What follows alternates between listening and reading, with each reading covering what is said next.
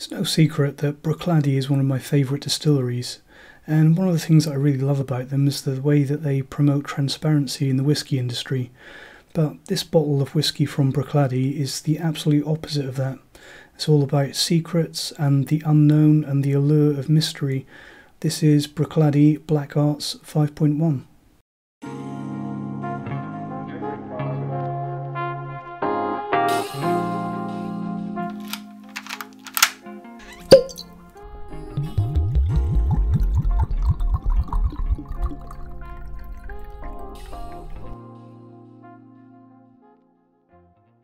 So, bearing in mind that the whole point of this whiskey is that it's mysterious and makes you want to try it because you don't know anything about it other than that it's really expensive.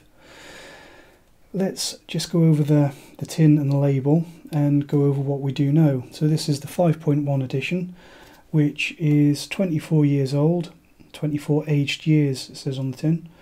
It's a limited edition of 12,000 bottles.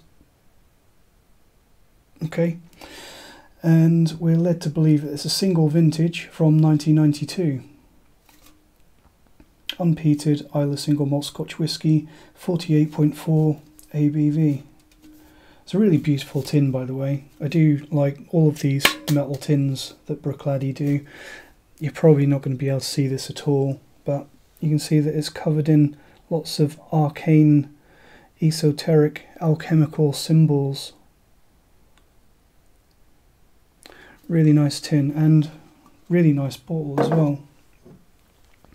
So similar to the cyan blue, would you call that cyan that they normally use for the Bruichladdich blue bottles?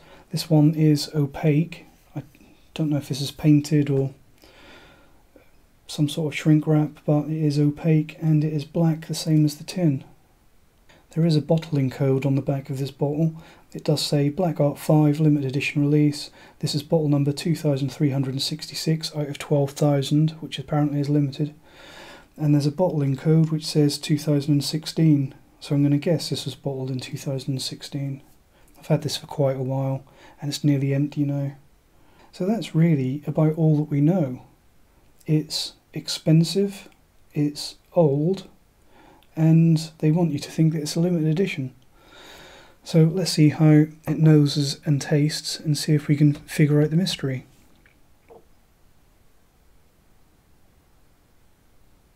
So one thing that does give some things away immediately, even though this is 24 years old or possibly older, although the fact that they've put the year on there makes you think that it should be a single vintage so it's all the same age, the colour of this leads you to think that it's probably or almost certainly had some sort of grape influence, port, probably sherry, maybe, possibly red wine.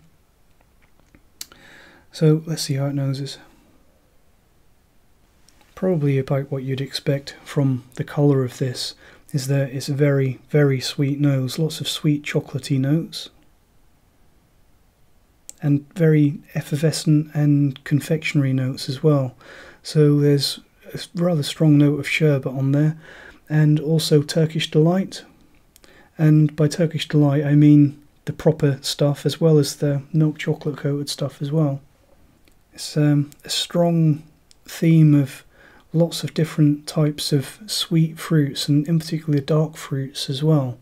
So I'm getting a, a strong note again of confectionery, some sweet and sour apple flavoured sweets.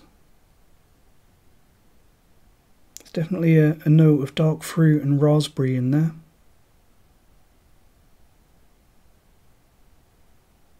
It's also a little bit surprising that there is a note of some rather spicy European oak as well. So I was kind of expecting this to be a cask finished whiskey, but that spicy European oak note that I'm getting in there maybe hints that there have been some genuine sherry or port casks used in this. Also getting a certain grassy earthiness, which are usually associated with rye whiskey. So really something more the other side of the Atlantic there, maybe a, a rye heavy bourbon.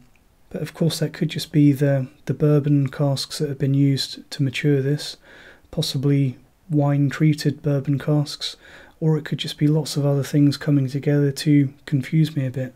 But there's definitely a grassy earthiness to the nose of this one. Getting lots of sweet caramel as well. Sweet lots of things in this one, but some caramel. And there's also a slightly worrying note of ginger and wood spice and spicy, possibly virgin oak to this as well. So already, just based on the nose of this, I'm wondering if this is fitting with the theme of black art, that this has been a real alchemical endeavour to make this whisky. It's really gone through a rather convoluted process of re racking, possibly, probably cask finishing, and lots of different types of casks have gone into this to make it what it is. And usually, when that happens, when you're talking about things like the Laphroaig 4 oak and the Jura 7 oak, it really doesn't work. You tend to get all these different casks and they either clash horribly or they cancel each other out, and you just get a substandard whiskey. But this this does work. It's not my favourite thing, but it's definitely a style and it definitely works, and it's good whiskey. So let's see how it tastes. Again, very upfront with the chocolate and sweet chocolate as well, milk chocolate. And again, that spicy European oak flavour that I saw, that I experienced on the nose. And again, that slightly gingery, raw, fresh virgin oak note. I'm not sure if that's something from the European oak that's really being sort of permutated and changed and modified by all the different things that are going on in there, or if it really is a note of virgin oak. It seems a little bit strange that they would use virgin oak in something like this. But to be honest, probably most people have a higher opinion of virgin oak than I do. It's not something that I really enjoy, and it's something that I think rarely works well. It has to be said that this is a luxurious whiskey. It's got a strong, sweet syrupiness to it, almost a medicinal syrupy sweetness. It's a strong winey note as well. Red wine, I'm going to say, and lots of dark fruits, probably coming from those wine casks that I think are probably in there, and raisins, black currants, and there's definitely a cheesy, savoury, salty note in there as well. And I think that cheesy savouriness is probably coming from some port casks. As for a finish, I'd say medium length with some salty wine notes and chocolatiness. So, really, a medium length finish on a 24 year old whisky is probably a little bit less than you would expect. It's not a long finish. As for a grade, I'm going to give this one A minus because I do really enjoy it. It's a little bit wacky, and I'm definitely not going to go any further than an A minus, but it is a really good whiskey. But I think probably more interesting a question is what is it? How have they made this? And like I've said already, I think this is probably a combination of lots of different casks. I wouldn't be surprised if there's some bourbon, some sherry, port, red wine, possibly something odd like a, a really rye heavy bourbon, and possibly some virgin oak in there as well. So it really is a mixture. But in a way, it's impressive that they've managed to put all of these things in there, and you can still pick out identifiable, unique flavours. They don't grind each other out, they work in unison quite well. What isn't so good is that I think that all of these different casks or cask finishes or whatever's gone into this whiskey, it really drowns out the base spirit you can't really tell that this is a 24 year old whiskey anymore, in my opinion, and that is a shame.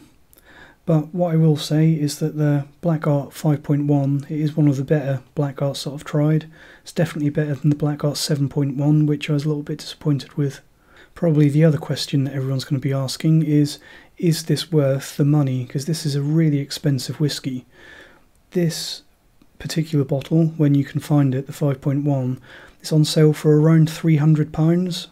So you can get a lot of other really exceptional whiskies for the price of one bottle of this, and mainly due to the fact that all of the different casks in here really disguise the fact that this is a very old whiskey. I would say it's probably not worth the money.